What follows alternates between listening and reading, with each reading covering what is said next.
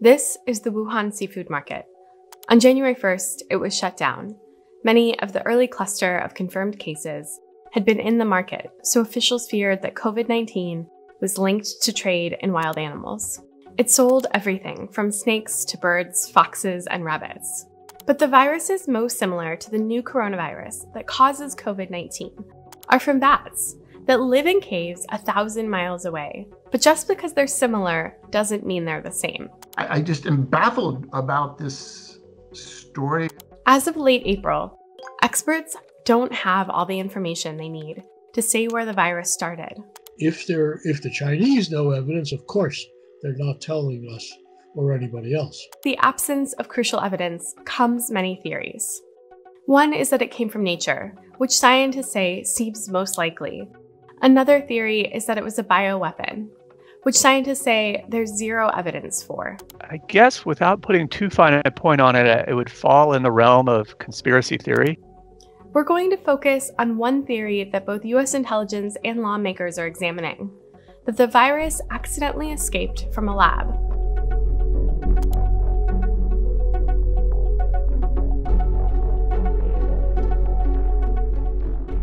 At least two labs in Wuhan research bat coronaviruses the Wuhan Institute of Virology and the Wuhan branch of the Chinese Centers for Disease Control and Prevention.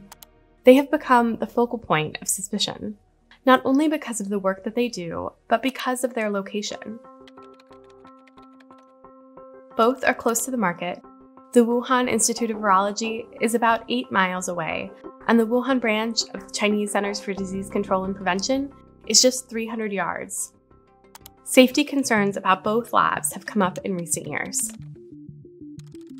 For instance, in this video, we see one of the scientists from the Wuhan Center for Disease Controls and Prevention doing research on coronaviruses in bats while not wearing protective gear. But regardless if researchers are in the field or in the lab, most bat coronaviruses scientists have identified aren't dangerous to humans. They're not considered um, major potential pathogens because they just don't grow very well in other species besides bats.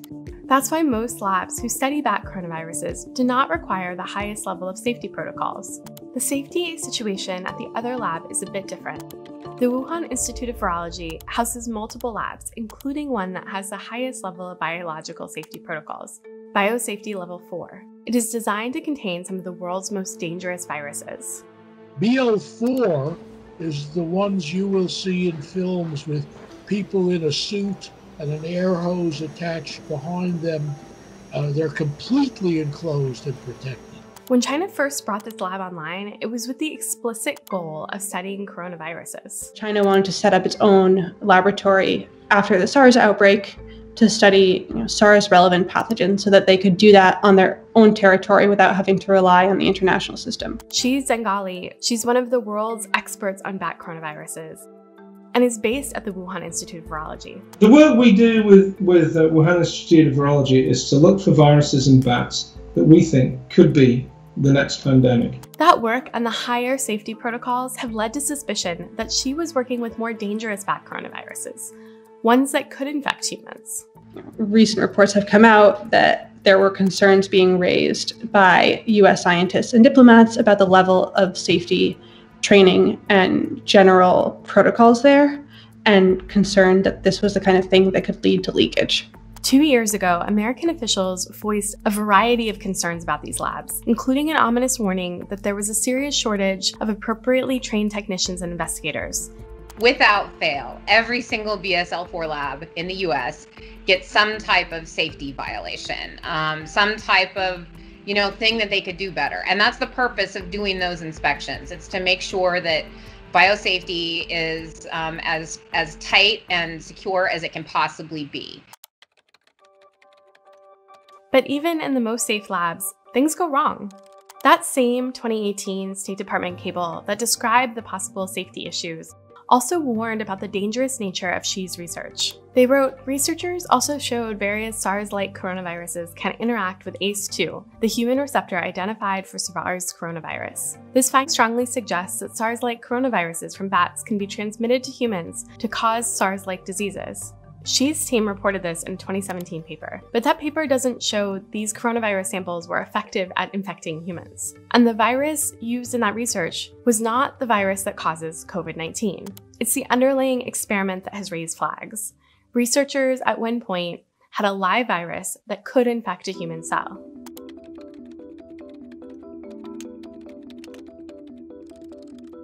Just weeks into the outbreak, researchers from Shi's lab found the virus had a 96% similarity with a bat coronavirus they had previously researched. So they both came from, you know, the same distant relative, same like great great great virus grandfather. And though these two viruses have diverged, that 4% change, it's the part that makes all of the difference to us. The part of the virus that binds to the receptor on human cells for the SARS coronavirus 2 it's very different than the bat coronavirus, the part that allows the animal virus to infect humans. Otherwise, it's interesting, but it's not going to cause any outbreaks in people. That means this virus and other currently known bat coronaviruses could have picked up the features from just the right intermediary animal, allowing it to be able to jump to humans and really what we won't be able to find out unless we can identify whether there is an intermediate species. We have to actually see um, the ancestor of SARS coronavirus 2 to know exactly what type of adaptations it underwent in order to be able to infect humans. The smoking pangolin or the smoking whatever else. Of course, the potential great, great, great, great virus grandfather isn't the only bat coronavirus in Shi's lab. Even she was initially concerned that her lab could have caused the outbreak, but since then, she says she's ruled out the possibility. She, her team, and the Chinese government have adamantly denied that it could have come from this lab. There's no way this virus came from us. China's been incredibly open, and I believe it's because it's a scientific collaboration. And in China, there's a really, uh, they're really proud of their science. They do good work, especially in virology. The evidence that a lab accident led to the release of the virus that causes COVID 19 is circumstantial but speculation has heightened because of the actions of Chinese officials. First, before the Chinese government had even alerted the World Health Organization to the growing epidemic, scientists were told to destroy early samples of the virus, according to the Straits Times. After the Chinese government reported the virus to the WHO, officials quickly pointed to the seafood market as the source of the virus and shut it down. Chinese government acknowledged it began in Wuhan and put out the story of the wet market. It was a kind of unusual specific pinning on the part of the Chinese government, like not their general way of operating. But many of the first known COVID 19 cases were not traceable to the Huanan seafood market.